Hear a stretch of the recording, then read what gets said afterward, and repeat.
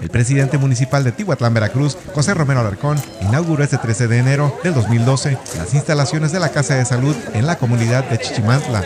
Ante cientos de habitantes y acompañado por regidores, dijo que esta petición fue realizada desde su campaña, dando a conocer la cantidad de los recursos invertidos en esta obra, así como de su gran utilidad para la población. Quiero decirles que cuando me hicieron esta solicitud, de manera responsable la acepté, porque sé que es una obra que no beneficia a unos cuantos, sino beneficia a todo Chichimantla y a algunas otras comunidades que tengan la necesidad de acudir aquí a esta casa de salud a atender alguna emergencia. Y le invertimos 454 mil 356 pesos con 60 centavos. Es lo que costó esta obra y pues beneficia a la población total de Chichimantla.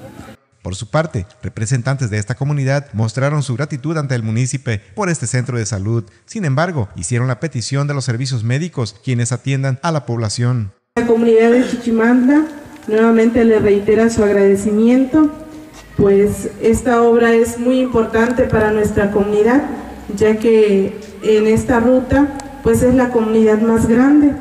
Entonces le agradecemos de antemano el edificio, pero también le pedimos pues que este, nos ayude con, con un médico.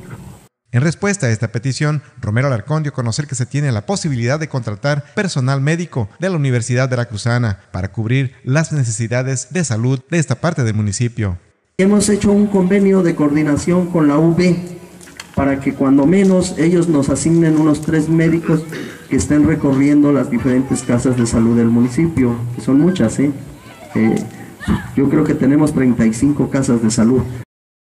Desde Tihuatlán, informó Luis de la Cruz.